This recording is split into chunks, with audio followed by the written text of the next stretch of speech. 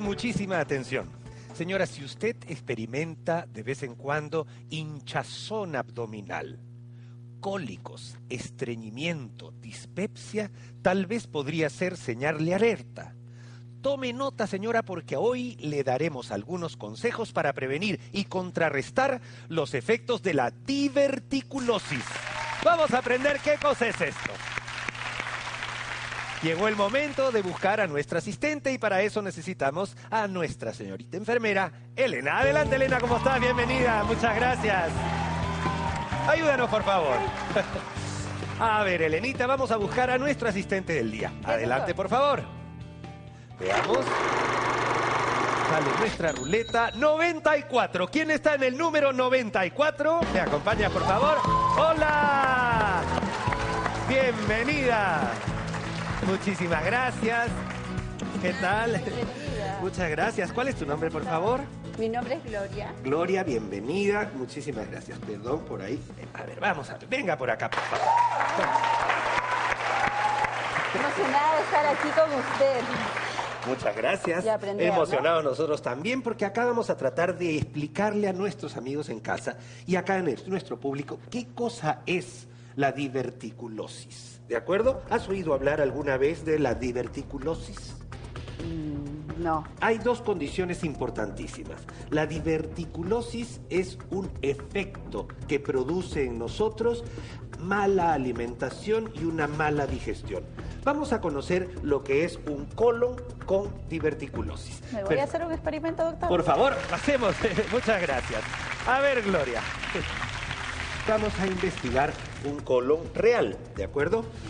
Y tenemos acá, gracias a la UPC, Universidad Peruana de Ciencias Aplicadas, un espécimen de anatomía ya preparado y lo tenemos acá.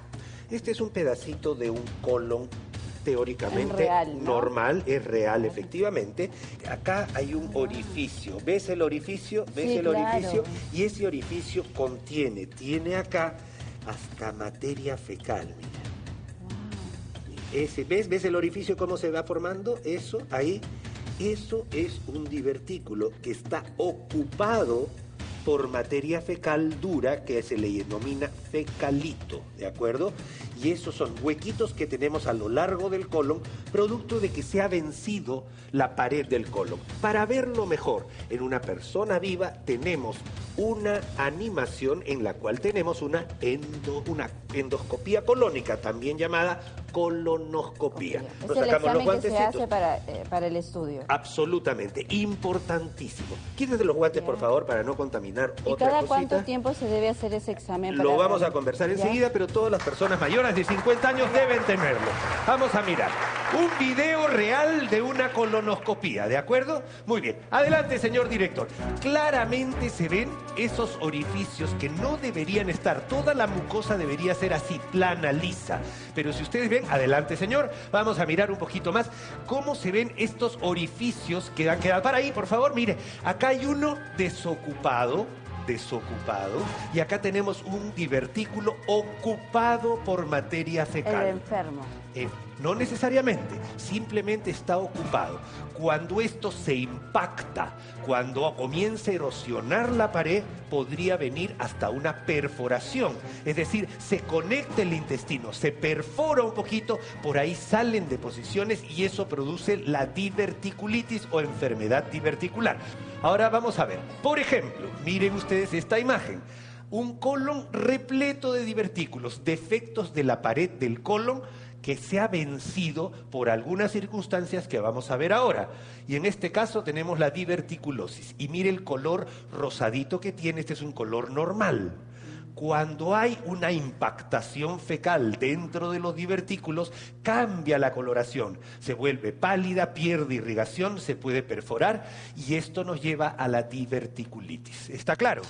Vamos a ver. Hay factores de riesgo. Acompáñame, por favor. Puedes pasar por acá. En el siguiente bloque siga aprendiendo cómo evitar la diverticulosis. Antes se decía que, por ejemplo, hasta las pepitas del tomate podrían hacer daño. Ahora está comprobado que eso no es así. Esto es Doctor TV. El primero, principal, primordial, importantísimo, el estreñimiento. La persona estreñida tiene mucho más presión en este nivel acá, entonces las paredes del colon están empujando hacia afuera creando estas bolsitas. Entonces el estreñimiento, primera causa de tener enfermedad diverticular o presencia de divertículos llamada diverticulosis. La edad. La edad. La edad es el segundo factor porque con el tiempo se van gastando las paredes del colon. Por lo tanto van perdiendo esa fuerza, se pierde un poquito la elasticidad y ¡ploc! sale un globito. Sedentarismo falta de ejercicio, el hecho de estar sentado todo el día, solamente comer, echarse y dormir. Muy malo porque esto lo que hace es retener deposiciones en todo el marco colónico, causando aumento de la presión acá adentro y produciendo estas bolsitas. Luego tenemos la obesidad, que viene, generalmente viene con trastornos de la alimentación, como que uno come de todo y no deja el buen trabajo del colon para que progrese los alimentos adecuadamente. Y por último, una mala alimentación relacionada con la obesidad. Estos son los factores de riesgo para que uno pueda tener mayor cantidad de divertículos. ¿De acuerdo? Vamos a ver cómo funcionaría un órgano en buen estado, bien alimentado y por qué la fibra es tan importante para poder sacar estas deposiciones que se van quedando ahí. ¿De acuerdo? Acompáñame, por favor. Ahora, necesitamos cierta protección para hacer esto. Elenita, por favor, adelante. Muchísimas gracias. Bienvenida. Ajá, los ponemos en los anteojitos. Tú también, por favor, Elena, porque acá lo que vamos a hacer es un experimento. Muy bien, nosotros tenemos esto. Me voy a colocar unos guantecitos acá para protección. Entonces, ¿qué es lo que sucede cuando uno come fibra? La fibra arrastra algunas heces que están puestas en el colon y que deberían salir junto con las deposiciones. Entonces, al comer fibra, lo que sucede, vamos a apartarnos un poquito porque esto puede salir un poco fuerte. Vamos a mirar y acá viene, uno, dos, tres.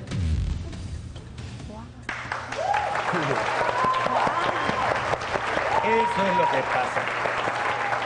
Amigos, esto es lo que hace la fibra, esto es lo que hace la fibra, remueve de nuestro propio intestino todo esto que es lo que se va quedando constantemente ahí. Se va quedando, se va quedando y finalmente esto va a seguir progresando y va a sacar, va a limpiar de nuestro colon esas deposiciones que van quedando. Y para saber cuánta fibra necesitamos por día, tenemos acá en nuestra maquinita, en nuestro video, una imagen muy especial que nos va a decir qué cantidad de fibra Permiso. necesitamos. Muchas gracias, Elenita. Nos sacamos los anteojos, por favor.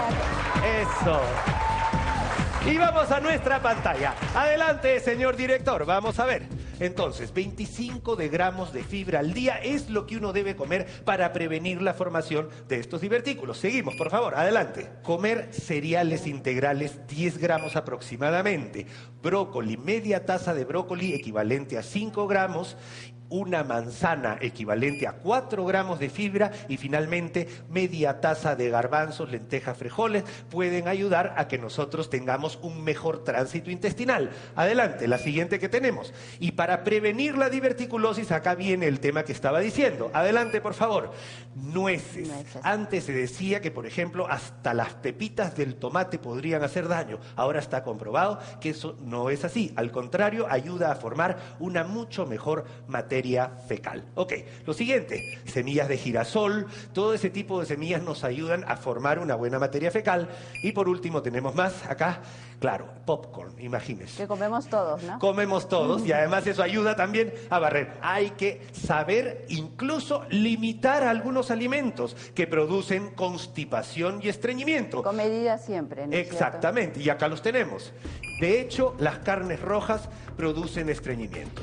Si uno en la noche come carne, al día siguiente usted misma se va a dar cuenta, señora, que tiene cierta dificultad para hacer sus deposiciones, porque la carne tiene una fibra que no es fácilmente digerible. ¿De acuerdo? Embutidos vendrían a ser otra de las cosas que nos estreñen, porque tienen aditivos, tienen además varias cosas ahí que influyen en nuestro movimiento intestinal. ¿Estamos de acuerdo? Muy bien amigos, hemos aprendido un poquito lo que es diverticulitis y diverticulosis. Prevenga la diverticulosis. Muchas Muchas gracias, gracias Gloria, muy amable. Ya. Nosotros regresamos enseguida, mil gracias.